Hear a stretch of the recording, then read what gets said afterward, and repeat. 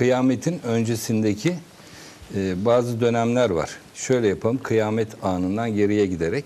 Yani kıyamet döneminin 120 sene olduğu söyleniyor. Yani dünyanın parçalanışı, yok oluşu, sistemlerin bozulması, e, belki dünyanın kara dilinin içine girmesi o aşama. E, oraya yarısına haşır diyebilirsin, yarısına kıyamet öncesi anlar diyebilirsin. Bunun, bunun 120 sene süreci söyleniyor. Ondan önce 250 senelik insanlığın koptuğu, tamamen ne olduğunu, ne yaptığını bilmediği zincirden boşanmış gibi bir dönem var. Ama burada çok ileri teknoloji de var. İnançsız oldukları. dönem. İnançsız olduğu, kimsenin inanan insanın kalmadığı, kalmamaya yaklaştı son dönemlere doğru.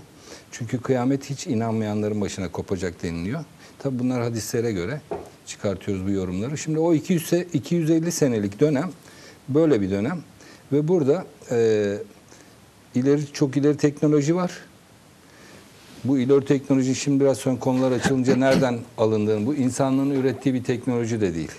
İnsanlık belli bir yere kadar getiriyor ama birdenbire bir sıçrama yapıyor. Zaten o ileri teknoloji e, ben şeye benzetiyorum. E, Hazreti Nuh döneminin tufana yakın zamanlarındaki oradaki söylemlere bakarak oradaki o insanlığın tamamen boşanmış zincirinden boşanmış haline benzer bir hal olacağını düşünüyorum. Orada insanlar bir gurur getiriyor ileri teknoloji. Artık biz her şeyi keşfettik, anladık falan filan. Ne Allah var, ne kitap var, ne bir peygamber. oluşuyor. Yani bu şekilde bir dönem. Ondan öncesi kendi bize doğru yaklaşıyoruz. Ondan önce Hazreti Mehdi ve Hazreti İsa'nın birlikte yürüttükleri bir dönem var. Bunlar 40 sene birisi, 40 sene birisi olarak 80 sene anlaşılabilir. Ondan Ama önce de- beraber oldukları bir dönem Beraber- var değil mi? O Deccal'in de olduğu. e, Evet, Deccal dünyanın olduğu, o işte Yecüc Mecüc saldırıları falan hep o olduğu. dönemlerde. Şimdi ondan önce de Armagedon dediğimiz dönem var. Armagedon dönemi, o da aşağı yukarı benim tahminime göre 2030 senesinde şimdi başlayıp 160 100 160 diyelim veya 150 senelik bir dönem. Burada e, bütün dünyayı ilgilendiren çok uzun süren bir şey çatışmalar, savaşlar, çatışmalar dönemi. Ee, bazen barışı oluyor gibi ondan sonra tekrar alevleniyor şey oluyor falan ama bütün dünya hiç kimse bundan şey kalamıyor ve burada dünya e, tek devlet yapılmaya çalışılıyor ve yapılıyor da. Ve burada Deccal da çıkıyor işte. Deccal'ın dönemi bu. Yani Mehdi'ye kadar olan dönem Deccal. Çünkü Deccal'la Mehdi ve Hazreti İsa orada savaşıyorlar ve tekrar Hazreti İsa Yakın bir zaman mı diyorsunuz? yani Yani, bu 2030'dan 2030'dan başladı. sonraki 150 süreç- sene diyelim. 100, anladım. 150 Yani sene. Şimdi biz biz görmeyebiliriz. giriş aşamasındayız. Tabii bu bizim ömrümüze göre uzun görünüyor. Ama insanlığın şeyine göre bu çok kısa. Mesela peygamberimizden bu tarafa 1441 bu sene Ramazan'ı inşallah 1441'i Ramazan bayramını veya Ramazan'ı kutlayacağız. Şimdi 1441 sene geçmiş. Ta o zamandan ahir zamanın geldiği söylenmiş. Ama bu ahir zaman da uzun bir dönem. Fakat biz şimdi onun e, dünya tarihinde daha önce belki de binlerce yılda olabilen olaylarının sıkıştırılmış halini giderek bu daha da yoğunlaşarak gidecek. Yani mesela işte 10 senede belki de 300 senede olmamış olaylar oluyor. Şimdi bir sene de olmaya da başladı. Belki ondan sonraki dönemde O teknolojik gelişmeler de aynı şekilde. e, teknolojik gelişmeler de hızlandı. Ee, burada şu var mesela bir hadis hatırlıyorum ben. İşte Deccal'ın e, bir senesi e, bir senedir. Ondan sonraki bir ayı bir gündür falan şeklinde böyle. Yani bu zamanın sıkıştığı ve yoğunlaştığını anlatan bir hadis. Yani burada şunu anlamak lazım. Biz bunun şimdi tam giriş dönemindeyiz. Bu aynı zamanda zodyak takvimine göre balık burcundan kova burcuna geçişin de arifesindeyiz. Yani 72 yıllık son bir derece balık çağına ait. Ondan sonra da 72 yıllık birinci derecesi kova çağına ait. Bu ikisi 144 sene. Bu 144 sene işte bizim şimdi girmek üzere olduğumuz 2030'dan sonra veya 2028'den sonra diyenler de var. Bir dönem.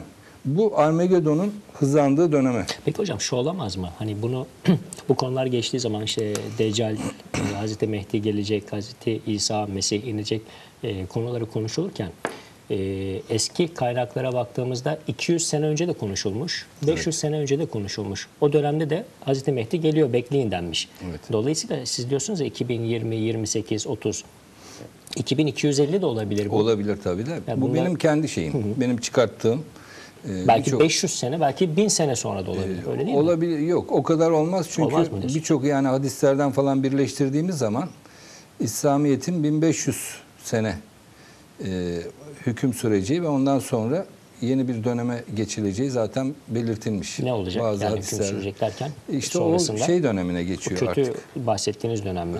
Sonradan kıyamet dönemine geçiriyor. İşte bu kıyamet dönemine geçilmesi dediğim o 250 sene insanlığın Yecüc Mecüc saldırısından sonra O zaman çok yakın bir zaman. Yani şu an yani 150 baktığımızda- sene sonra e, ve ondan sonraki bir İslamiyet'in hakimiyet dönemi.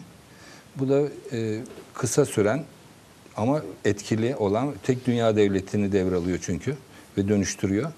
Etkili olan yani insanlık tarihine damga vuran bir dönem. Ve Yani totalde sonra- baktığımızda 250, 300 bilemedik 500 sene sonra kıyamet kopabilir biraz E, aslında. tabii öyle oluyor yani. Yani hemen ben hemen. bir 3000 sene, 4000 sene değil mi diyoruz? Yok yok şöyle e, ikinci bin yıl yani bu ikinci bin yıl dedim işte 1441'deyiz şu anda yani peygamberimizden sonra bin yıl geçti 441 yıl daha geçti. Bu şimdi nereye gelecek? İki, 2000'e kadar bu iş biter deniliyor. Yani peygamberimizden sonra 2000 sene sonrasına kadar olay biter. Dünyanın sonu gelir. İslami literatürdeki benim anladığım Şey kaynaklardan diyorsunuz bu. peki hocam? Bu e, işte her yüzde gelen, her yüzyılda bir gelen müceddit e, den bahsedilir. Hazreti Mehdi de yine bir müceddittir ama e, ilk çeyrekte gelecek de denir. Böyle hadislerde Evet. var. Yani o ilk çeyrek işte ilk 25 olduğu bahsedilir. İşte 1441 1441'deyiz şu anda. geçtik yani ilk Ee, 25'i geçtik. O 1500'e zaman kadar yani, e, Yani 1500 41'den 60 sene var diyelim. 59 gibi sene var. yani ilk tabii o olacaksa da Yani şöyle 1500'de gelecekse ki benim tahminime göre 1600'ün başında gelecek. Ama 1500'de gelecekse de daha 60 sene var. Bu neye göre? Bunu İmam Rabbani'nin mektubatından çıkartıyoruz. O dönemde de yani bin yılında oluyor bu. Yani peygamberimizden hicri bin yılında yaşayan bir e, alim, müceddit. O bin yılın alimi deniliyor. Şimdi İmam-ı Rabbani o dönemde diyorlar ki işte şurada Mehdi diye bir adam çıktı. E, ne diyorsun bunun hakkında? O da diyor ki bak şu anda 1028 yılındayız. 3 sene geçti. 3 sene 3 sene değil. Yani İki- 25 28 sene geçti. Ki ilk 10 senede çıkması lazım ilk aslında 10 da. mu ilk çeyrek dediğimiz İlk çeyreğe 25 mi? kadar uzatmışlar. Ama ilk 10'da çıkması gerekiyor. Ee, ilk çeyreğe kadar da müsaadesi var demişler yani. Ama 28 olduktan sonra artık ilk Gelmez. çeyrek de geçti.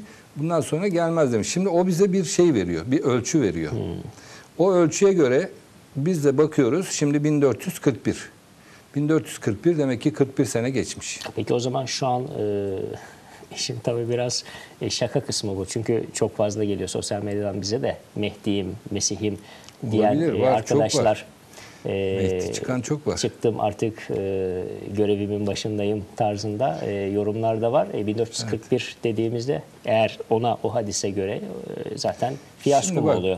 Bu tabii programımızı fazla başka konular konuşacağız da bu konuya kısacık kimseyi de kırmadan. Yani ben Mehdi'yim diyenleri de ben kırmak istemiyorum. Herkes kendi ne yaparsa yapsın. Kesinlikle. Kanunlara uyarak bir şeyler yapıyorsa insanları kandırmadan, insanları yanlış yöne yönlendirmeden bir şey ama Mehdi'yim demek tabii uygun bir şey değil. Ee, ama onları da kırmak istemiyorum. Ama şunu söyleyeyim. İnsanoğlunda Allah'ın yaratmış olduğu esmalar sistemi cari olduğu için buradaki bize gelen benlik diye bir duygu var. Bu Allah'tan direkt geliyor.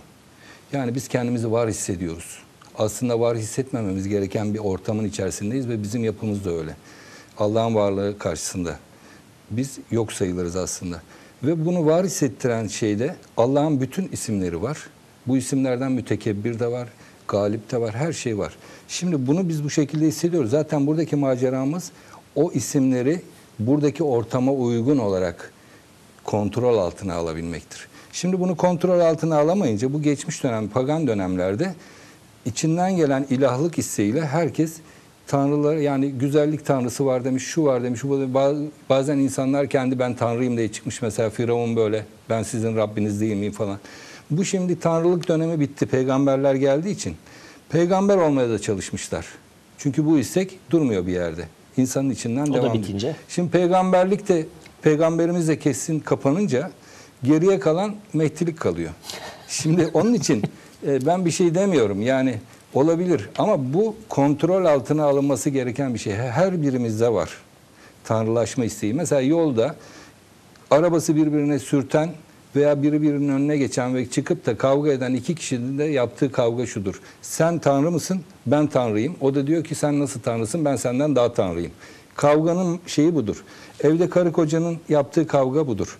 Herkes kendi karşısındakine kendi pozisyonunu savunarak tanrılık iktidar davası. mücadelesi aslında. İktidar mücadelesi. Ama orada şu var hocam hani siz biraz daha iyimser e, kırmadan an- evet kırmadan anlatalım bunu ama e, bir kitle topluyor bir ikincisi ben hani Mehdi'yim demek Allah'ın gönderdiği bir e, kişi olarak kendini öne çıkartmak demek bu ciddi bir sorun zaten.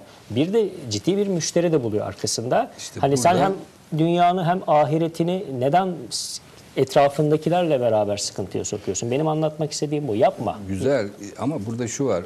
Bunu biz anlatabildiğimiz kadar anlatırız.